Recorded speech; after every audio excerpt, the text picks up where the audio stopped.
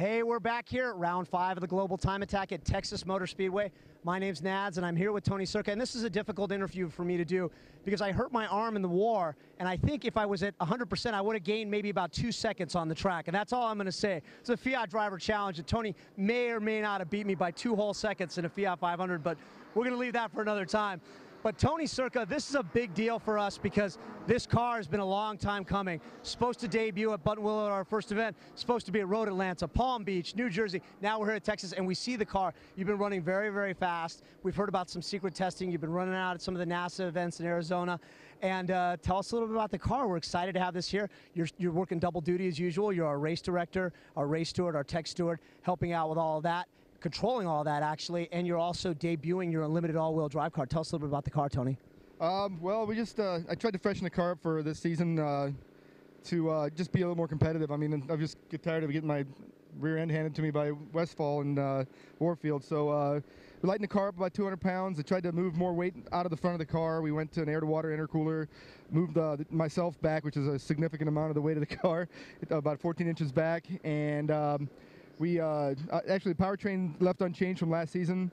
Um, you know, added some fuel uh, improvements, added, added, a swirl tank, uh, got some better aero. I, am still working on a splitter. We got uh, Cognition on board, and helped us out with the wing. Um, Rockford Fosgate helped out with some uh, some backing so we can get the car together. And you know, we got White Line helps out. Comp Clutch helped us out last year. AIT with the body kit again uh, Fabrication with the roll cage, uh, TS Customs a paint job. We had a ton of ton of people involved.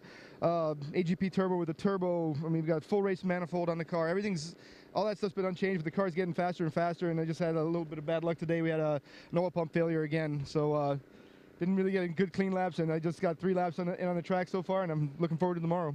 Yeah, so you guys, uh, we, we were worried that the weekend will be done, so the car will be back tomorrow, correct, for day two? Uh, yeah, definitely. We just uh, spent most of the day putting the new oil pump in the car. We got uh, the uh, Evo Dynamics, uh, Evolution Dynamics, I think the local shop had an oil pump on hand. They brought it out to us. They were already back at the shop.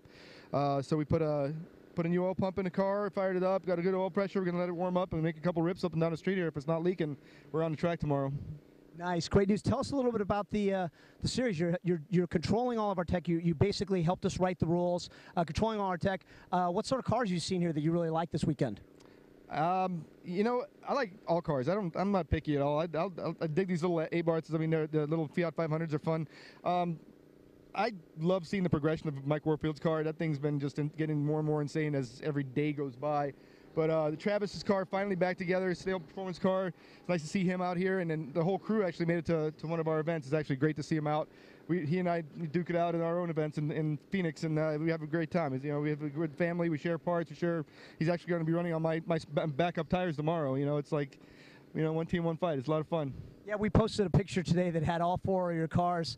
We called it the AZ, the AZ Mob. So you guys came in strong with uh, UMS, uh, Snail, and Forced Air Technologies.